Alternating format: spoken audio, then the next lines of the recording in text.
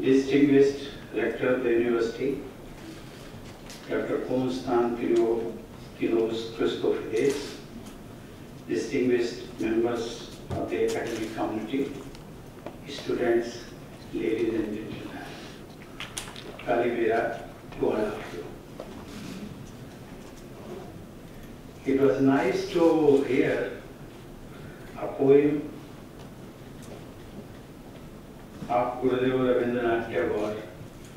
in a melodious voice.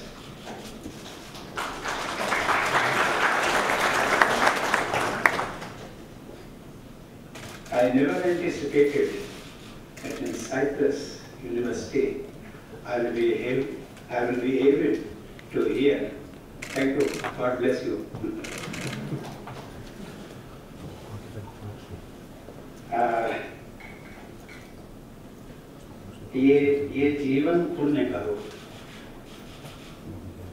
meaning thereby we all are born to do good deeds. That is the message message of the god. Ladies and gentlemen i am delighted to be here at the university of cyprus to meet you and reflect on what awaits the future of youth across nations.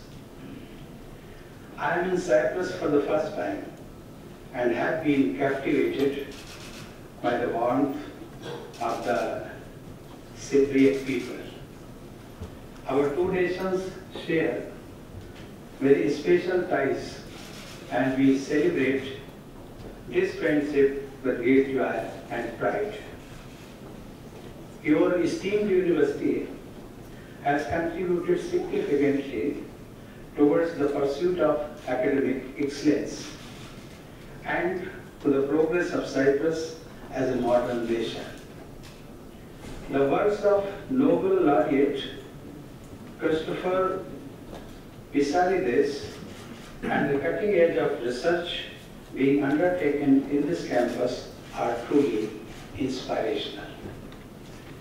We live in a rapidly evolving world the scale of change that we are likely to see in a decade or so will be unprecedented in human history.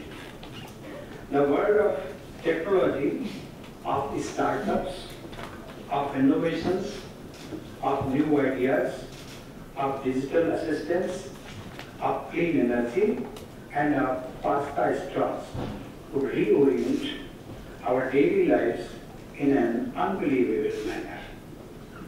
What is of deeper import is that perhaps for the first time in history, the youth is directly involved in bringing about sweeping changes and on such a massive scale. Yes, we did have young people participate in the Industrial Revolution, but their energy and involvement cannot be compared to what we see today.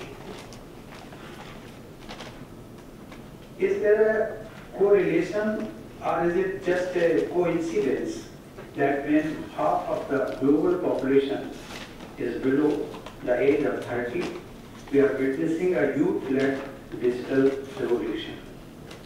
Let us leave that question aside for the time being. Youth by nature is open-minded, always ready to experiment with the new. The world over, they have taken to technology and are the principal drivers of the digital revolution. These changes present new opportunities to our youth, but also several challenges. Since we are among the students, let us first look at how the field of education itself is being impacted by these developments. Today, the tools available for learning have grown exponentially. Digital classrooms have made learning more inclusive and interactive. Students sitting across different continents engage in a classroom. The catchment area of ideas and cultures involved in education has grown manifold. Obviously, there is lot more imagination, thinking and involvement in solving problems. Chemistry today is not being taught with just books, but with sounds, visuals, and digital experiments. E-books and education apps have acquired a new salience. I understand that you are engaged in high-end research on energy and oceans at this university. Talk to your colleagues and you would know what meaning the new world of collaboration has added to their work. Technology indeed has opened a whole new world of learning and it has also made it easier to accomplish our tasks. You should, however, not get carried away by the instantness of technology. You must continue to work hard without the expectation of immediate reward. The pursuit of excellence should be the key factor that should dominate the minds of future generations. As we talk of digital progress, we must dwell on what the fourth industrial revolution promises for us. To me, it would be a force multiplier for development and growth. Yes, it would disrupt conventional jobs. But with advances in artificial intelligence, life sciences, and energy management, many and more employment opportunities could be created. Digital platforms, robotics, and data analytics are going to impact not just business processes, human health, public mobility, but also daily production, agricultural productivity, and forest conservation. A whole new life awaits us. These changes would also impact social modes. We must shield our traditional social structure and family against these stresses. On one account, we have had positive experience. Technology growth has made students into new age teachers. They are teaching the silver generation to download apps and enjoy the comfort of new age products. Dear students, as we move towards a knowledge-based society, skilling and retraining will acquire central stage of policy making and business development. In India, we have undertaken a massive program to skill 150 million people over the next few years. We are also focused on making our educational institutions attain global standards. Recently, six educational institutions have been accorded the status of institution of eminence to help them become world-class teaching and research centers. India has the third largest scientific and technical manpower in the world, with over 4,000 doctorate degrees awarded annually. The patents filed by Indian startups have gone up to 15 times in 2017 from 61 in 2016 to 909 last year. The changing world seeks greater collaboration among the global community. Despite its value, a digital classroom can hardly bring education to, for all if mountain communities in India, rural folks in Cyprus are desert, towns in Africa are left behind on the digital highway. As we move deeper towards the technology world, we must create open source platforms for communities and countries to access the fruits of science and technology. Access, equity, and inclusion should remain key to developing and ladies and gentlemen, the Indian experience is of relevance in this context. Empowerment through digital access is an objective that the government of India is committed to. Digital India is the world's largest technology-led transformative program which is paving the way for our citizens to avail public services. Let me share a few examples of how digital technology is becoming a great facilitator for ease of living in India. Today, a farmer can access weather and rainfall information at the click of a button and accordingly decide on his cropping options. Digital technology is therefore contributing to increase farm incomes. Second, a small entrepreneur can register on the government e-marketplace and bid for competitively for supply of goods. This leads to increased efficiency and greater value for public money.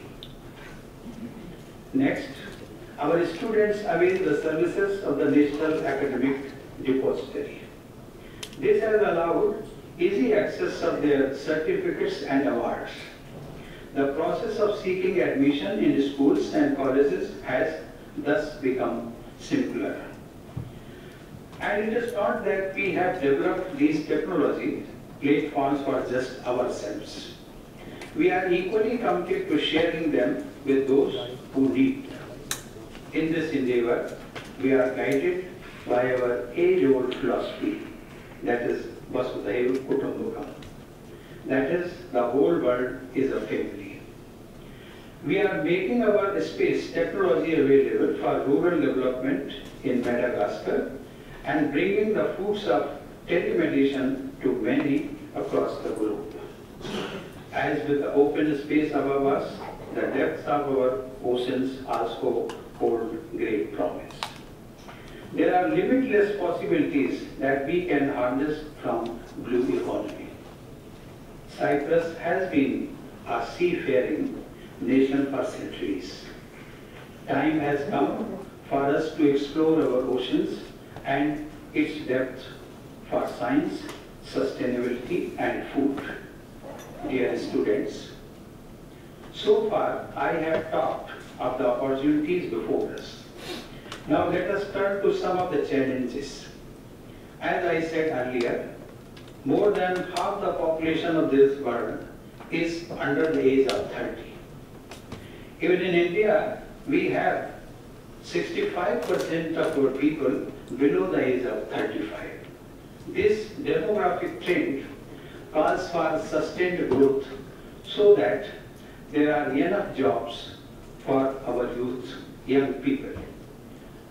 Global growth engines must therefore continue to run and run with speed.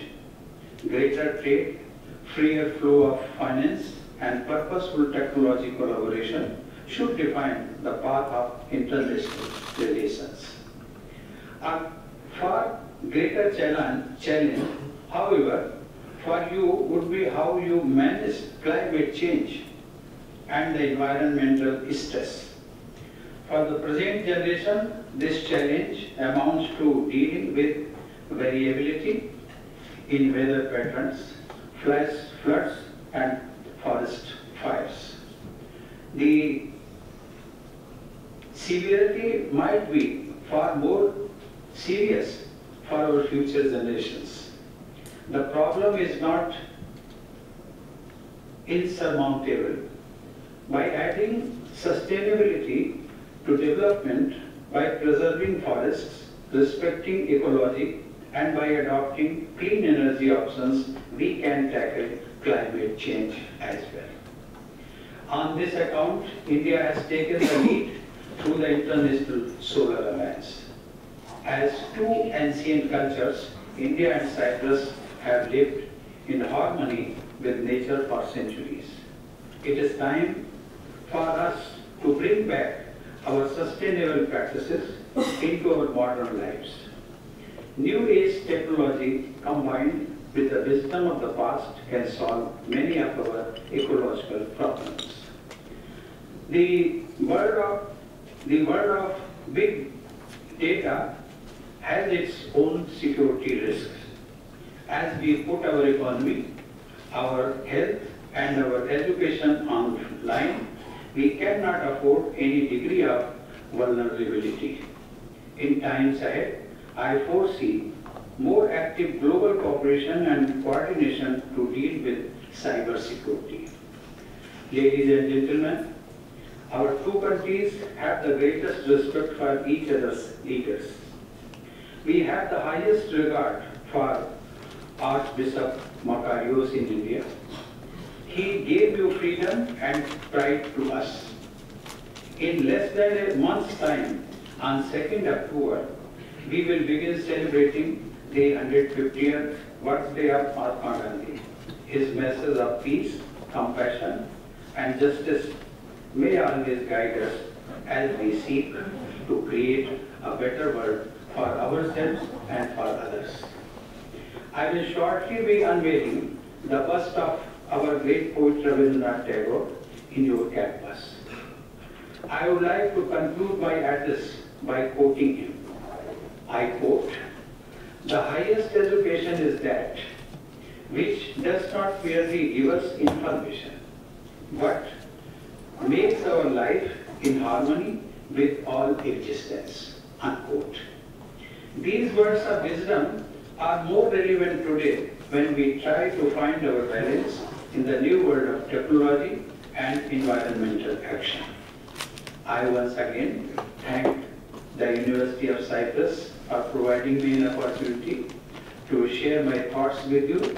The youth of Cyprus are the future leader of this country. May you flourish and take your nation to new heights. I wish you every success in your careers and horoscope